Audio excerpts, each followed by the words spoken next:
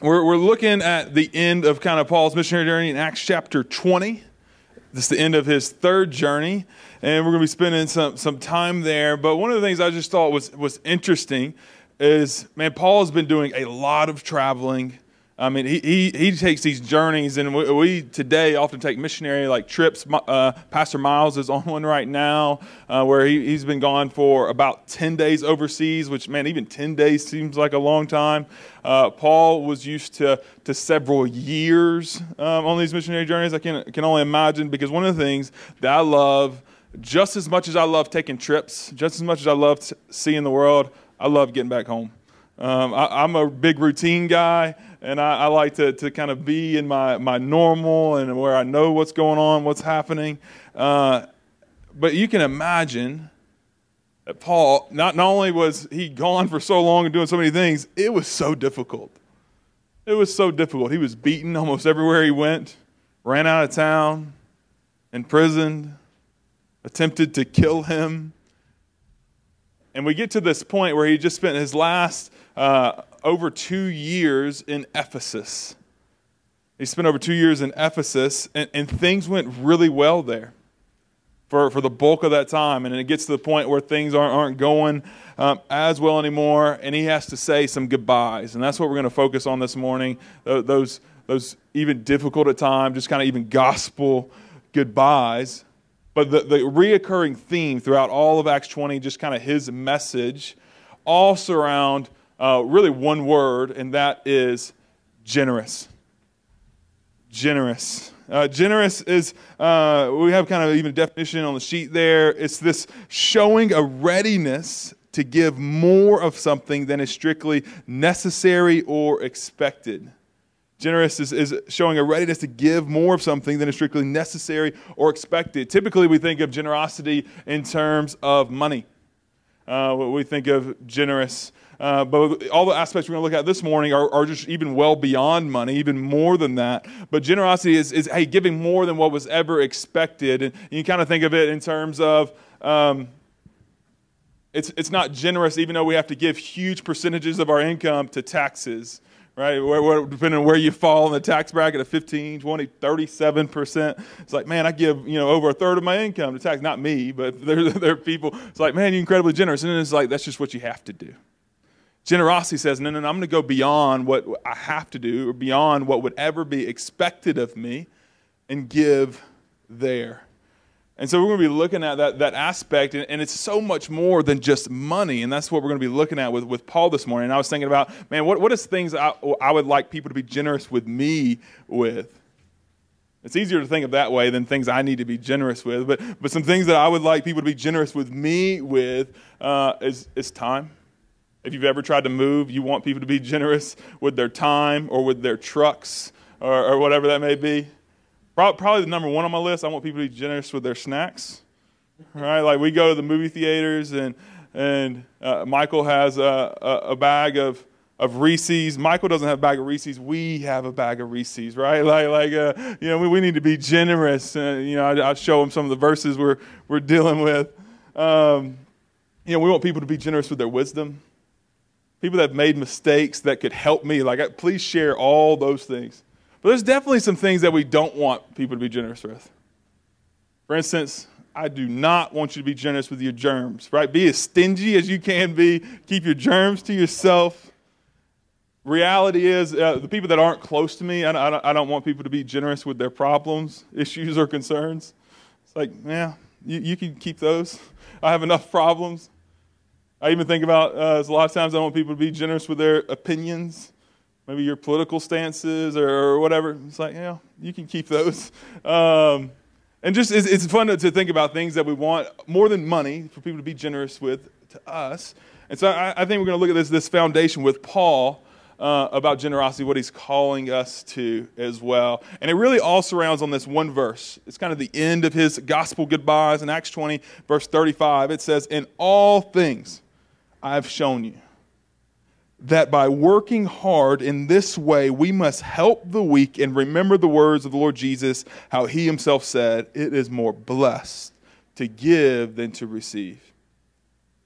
This is one of the, the last things that Paul shared with the church of Ephesus. this group of people he spent over two years with. I believe it was his favorite church. And you see in his, Paul's letter to the church of Ephesus, like he just really loved this group of people. And he's saying these goodbyes knowing that he will probably never see them again. There's a good chance that, that he might not even live to ever uh, uh, possibly see them again. And, and so, man, we get to kind of have a glimpse in uh, to some final parting words to some of his favorite people. And foundation, I believe all of them could be filtered with this idea of the, this calling of generosity to give more than that was ever expected of you. So that's how we're going to follow Acts, Acts 20 and, and just kind of look at these different aspects of generosity. Starting in verse 1, it says, After the uproar ceased. Quick, quick note on what the uproar was. While, while Paul was in Ephesus, so many people were, were turning to Jesus and believing in the gospel uh, that it made the uh, sinful activities of the culture not profitable. Right, so there was, there was a lot of magic going on, and there's these mystics and these idols, and, and people made a lot of money selling these different things. Because so many people were believing and trusting in Jesus, uh, they no longer were profitable. That made them very upset, right? It created this huge uproar, and they even brought it before the council, brought it before the city, and the city was like, well, they really haven't done anything wrong. So there's nothing you can do. Right? So that, that, that ushers into this moment. So after the uproar ceased, Paul sent for the disciples, and after encouraging them, he said farewell, farewell and departed for Macedonia. When he had gone through those regions and had given them much encouragement, he came to Greece. There he spent three months. And when a plot was made against him by the Jews as he was about to set sail for Syria, he decided to return through Macedonia. Uh, and then it continues in, in verses 3 through 12. We're, we're introduced to this, this story. It's, it's almost a, a comical story about Paul. He's kind of preparing for another long journey. He's eventually going to go hit. Uh, uh, near Ephesus again and then make his way to Jerusalem. But uh, I, don't, I don't know about you, what you do before going on a long journey. Maybe you have to go through your packing list uh, an extra time. Maybe you try to go to bed early. What Paul did is he said, Man, I just want to spend time with the people here. So I want to just soak up every second. And he's sharing uh, about Jesus with, with friends and with, with uh, different individuals. And he says that he was sharing so long that, that there was a person that was listening, Miletus. And it, Paul began sharing so long and it became so late, nearly midnight, that, that Miletus got a little tired. And he happened to fall out of an upper story window and, and even die when he hit the ground. This crazy story. So, can you imagine? I at least gave you a word search uh, if, you, if you get too bored. But uh, so, so hopefully we won't, won't sleep. But, but man, not, not only did he fall asleep, the only mention of him in the Bible is he fell asleep in a sermon and ended up dead. Well, Paul comes down. he says, You know what? The life is still in this boy. Um, bring him back up. And so they go and they find him, and he actually comes back to life. And then Paul goes up and continues until daybreak.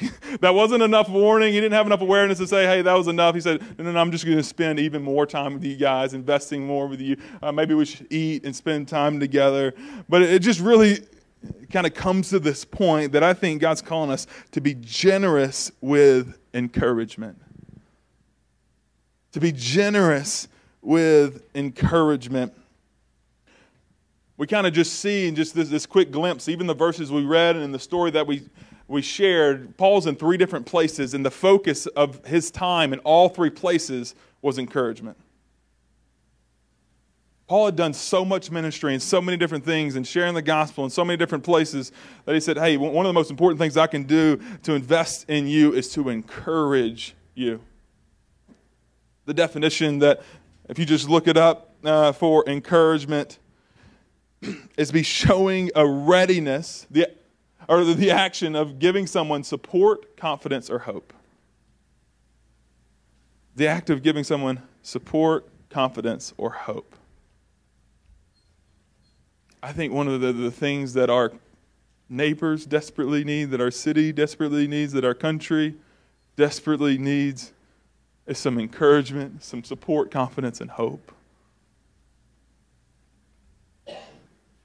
One of, one of my favorite quotes by Elisabeth Elliot, a woman whose husband was, was killed by the tribe that he was trying to reach with the gospel.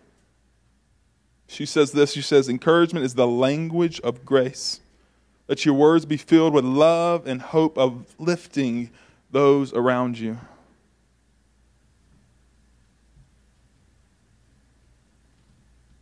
Paul realized in, the, in the, the, the, waning years of his life, after all that he had done and all he had seen the Lord accomplish, he says, Hey, man, one of the best things that I could do would be to encourage those around me, to fill them with hope for the future, hope for for God to, to work in and through their lives in incredible ways. And one of the things that, that we see from, from Paul, just kind of three aspects. There's a lot of ways to encourage others, but three just quick ones I want to give you to uh, be encouragement so you could be generous with your encouragement. The first one is just, hey, be there. Paul didn't have to go to, to Macedonia or these other places. He could have just made his way back to Jerusalem, which is where he ultimately needed to go. He didn't have to go to Greece. He said, but no, it's important. It's important that I could spend time with, with uh, other believers, other people of God, just so that I can invest generously encouragement into their lives. That I could just be there. That I could be there when nobody else is there. That's a huge part of encouragement. When I can think of, even as a, as a kid growing up, how, how much of a world of a difference any event or anything that I did, just the, the fact that my parents would show up. How encouraging, impactful that was in my life. The next part, this one's maybe a little bit harder that we uh, maybe tend to do even less, is say it. Actually express encouragement, love, and care and grace to other people. I know a lot of times we think good things of people's like, man, it's really cool what this person did or, or didn't do, and then we just end up keeping it to ourselves. Say it. That's one of the things Paul does with almost every one of his letters. He starts out with just encouraging, man, I thank the Lord and Jesus Christ for you. When's the last time you just encouraged someone with your words in such a way that displayed hope? So we say, hey, just be there, say it. And lastly, if you really want to be encouraging to others, I pray that we would just actually care for people. That we actually care for people enough to say, hey, I, I want to invest in you. I want to be generous with encouragement. I think that's what we, we see in Paul. Paul so desperately cared for the people that he was investing in uh, that, that encouragement just came natural. It just became a part of who he was and what he did. So that's our first foundation. I pray that we would all be generous with encouragement. Even challenge you today that you could go out of your way to encourage somebody else. Maybe that's sending a text message. Maybe even send a handwritten letter to someone. Maybe you say it to somebody that today. I, just just hope that all of us could could even practically do this today. Was at least one person would be generous with encouragement. All right, let's continue. Picking up in verse 17, it says, Now from, from Miletus he sent to Ephesus. This is Paul. He sent to Ephesus and called the elders of the church to come to him. Right, rewind. Paul's been kind of bouncing around. He's been fearful for his life. Uh, a lot of things are happening, but he said, Hey, before I get back to Jerusalem, I got to see the leaders at Ephesus at least one more time. And when they came to him, he said to them, You yourselves know how I lived among you the whole time from the first day that I set foot in Asia serving the Lord with all humility and with tears and with trials that happened to me through the plot of the Jews, how I did not shrink from declaring to you anything that was profitable and teaching you in public and from house to house, testifying both to Jews and to Greeks of repentance towards God and of faith in our Lord Jesus Christ. Man, he gives this he gives this starting testimony right he says hey i got to see the leaders in ephesus and here's what i want to say first he says you know the last two years that i spent with you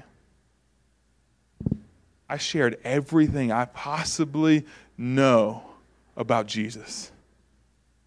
I invested everything that was profitable.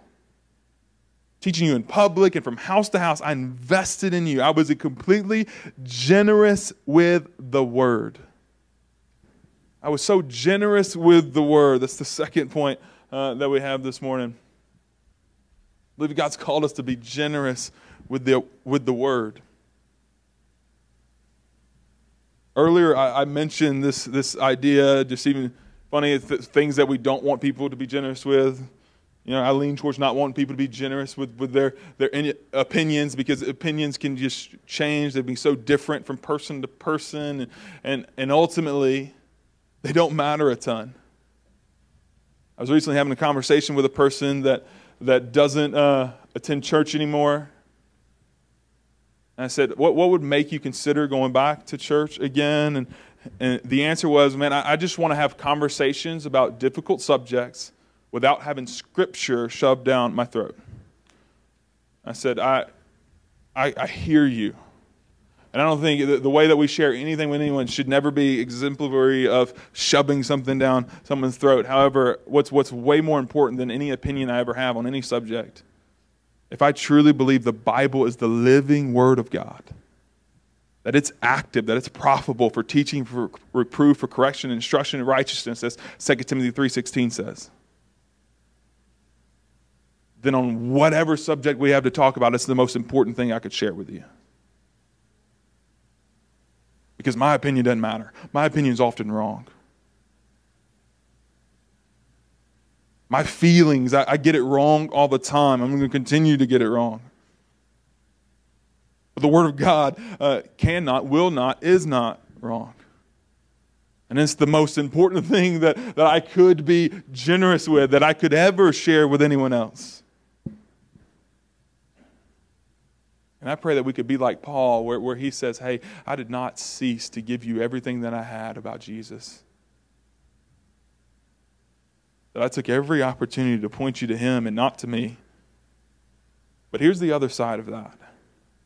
Right? Not, not only uh, we have this great calling to, to be generous with the word, to, to pour out uh, the good news of Jesus with anyone and with everyone in a loving and caring way. But here's the reality is you can't be generous with something you don't have. We can't be generous with something we don't have. One of the things I used to say all the time is that God gave me the, the kind of the gift of generosity. He just didn't give me any money. Um, right? It's, it's, easy to say, hey, I, I, I, would be so generous with something, with, with, something that I don't have or something that's, that's not real, like in theory. But, but this, this is one of those foundations. I believe God's calling us to be generous with the word, but the, the, that same calling is to be filled up with it as well. We often talk about Paul and his, his, missionary journeys. That's what we've been following, but we often don't reflect on the 12 years that Paul spent before he ever stepped foot on mission, being filled up, studying the Word of God and, and being filled so that he could fill others. We can't give what we don't have. I, I pray that one, we wouldn't just be uh, generous with encouragement, that we would be generous with the Word and be generous to fill ourselves up with it. To write it on our hearts, to memorize it, to, to spend time in it daily, so that we could live out this calling to be generous with the word. So be generous with encouragement, be generous with the word. Now let's look at verse 22 as we continue in. And now, behold, I'm going to Jerusalem, constrained by the Spirit, not knowing what will happen to me there, except that the Holy Spirit testifies to me in every city that imprisonment and afflictions await me. That's got to be a, like a scary place to be in. Right, where he's saying, hey, the, kind of the, the Spirit of the Lord is just letting me know no, no matter where I go, it's not going to end well. It's going to be real bad. Verse 24 says, But I do not account my life of any value nor as precious to myself, if only I may finish my course and the ministry that I received from the Lord Jesus to testify to the gospel of the grace of God. And that leads us to this last, or, or this third aspect of to be generous with your life. to be generous with your life. And I think Paul lived this out so beautifully. He said, Man, I was never looking for comfort. I was never looking for, for what was going to be the easiest path or anything of the sort. I was looking for a way that I could glorify God the most in every situation. I was longing to completely give of myself. But we shouldn't even give that much credit to Paul because all that he was trying to do is live like Jesus. Jesus, the guy that lived a perfect life, didn't make a single mistake. The guy that, that still loved me and you so much that even when we were enemies of Jesus, even when we told Jesus that he's wrong, that, that we don't want to follow him, that we want to follow ourselves and we want to figure it out ourselves, even when we did all that, that same Jesus said, Hey, I love you so much to leave you in your sin and your mistakes. And he took on the penalty for all of them on himself. He completely gave his life for me and for you so that we could be made right with God. And that's the, the example of, of generosity that Jesus set for us and that he's calling us to. That above everything, he's not, not calling us to give 5% of our life or 10%. He's calling us to give a, all of our life to him for his honor and for his glory. That we be generous with our entire life and live like Jesus. All right, so that, the first one we had generous with encouragement, generous with the word generous with the life. And let's pick up in verse 28. It says, Pay careful attention to yourselves and to all the flock in which the Holy Spirit has made you overseers to care for the church of God, which he obtained with his own blood. I uh, know that after my departure, fierce wolves will come in among you, not sparing the flock. And from among your own selves will arise men speaking twisted things to draw away the disciples after them. This is the one, if you'd ask me, like, hey, what are the things that you feel like uh, it's calling us to be generous with? This is the one I would not have guessed. But I believe God's calling us to be generous with protection. God's calling us to be generous with protection. He lays this foundation, one of these parting words to the church of Ephesus. He's saying, Hey, I'm leaving, and now you have a very real enemy that seeks to steal, kill, and destroy you. Not just you, everyone around you. He says, Hey, I want you to be hyper aware to love and care and protect the people that God's put in your place, in your care. R.C. Sproul, he says it this way. He says, Christianity teaches us to be selfless protectors, laying down our lives for others just as Christ laid down his life for us. There's a lot we could speak to, to this aspect of, of being generous with protection, but one of the things as I was even going through this is, is I think all these aspects are, are great for every believer and every person, even as, as Paul reflected on uh, as somebody that, that wasn't a father. He said, Man, these are helpful things for, for, for all people. But I just really thought of that, man, for every parent.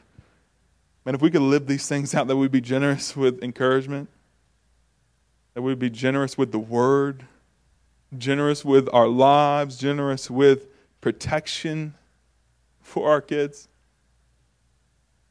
Not to be generous with friendship, but to be generous with things that, that matter and that have an impact that would go well beyond them. What a difference we could make. It's my prayer that, that we could live these aspects out as we transition to, to the very last one. In verse 36, it picks up again. It says, And when he had said these things, he knelt down and prayed with them all and there was much weeping on the part of all. They embraced Paul and kissed him, being sorrowful most of all because of the word he had spoken, that they would not see his face again. And they accompanied him to the ship. I can imagine just the weight of that moment. These people that have become family, he spent like two and a half years with. And he says, Hey, I'm, I'm never going to see you again. And the last thing he made sure to do he says, I want to pray with and for you. I pray that we would all be generous with prayer. That we would be generous with prayer. It often blows my mind that, that the God of the universe that loves us fully and completely, the one that spoke everything into existence, the one that, that nothing is too big for, that same God says, Hey, ask. Talk to me. Make your concerns known to me. And yet, it's so often neglected. We so often lack the, the, the spirit and the power of God because we lack the conversations with God. One of the most important and helpful things that you could do with any person in your life is to be generous with prayer over them, for them, of talking to the God of the universe that loves them more than you do, and longing for good things from Him for their life. And seeing God move in incredible ways.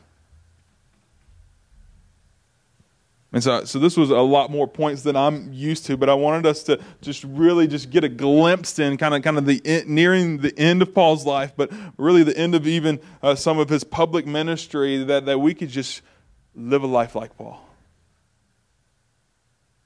That we would be generous with encouragement, taking every opportunity to, to instill hope into other people.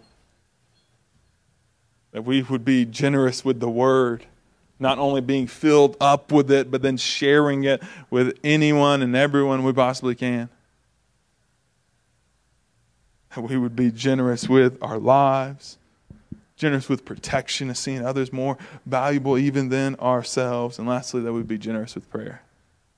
But here, here's what I want us to do I, I pray that these wouldn't just be points that we share this morning, I pray that these would be action steps that we take today Right? Almost everything in this list is something you can do today. Who's someone or three people that you could begin praying for and say, hey, man, I'm going to pray for, for these three people for three minutes a day every day this week. And just wait to see how God works incredibly in and through that. Maybe you say, man, I'm just going to seek to encourage at least one person a day. Maybe you spend one day just trying to encourage yourself.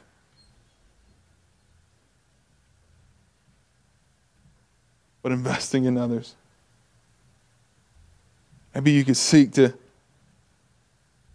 just whatever possible way to be generous to the word. Maybe you say, Hey, I long to be generous to the word. I'm going to start today filling myself up with the goal of reading a chapter a day or for 10 minutes a day or whatever that may be, of just filling yourself with the word to be able to pour out what is poured in. So here's what I'm going to do. I'm going to invite us into a time of response. I'm going to pray for us. But, but in this time of response, we just invite you to just uh, allow the Lord to lead you any possible way. Maybe you just want to pray in this time. Maybe you want to sing the song with us. Maybe you want to send an encouraging text. You even want to say, I want to get practical right now. We invite you to respond in whatever way you need to respond. Would you pray with me?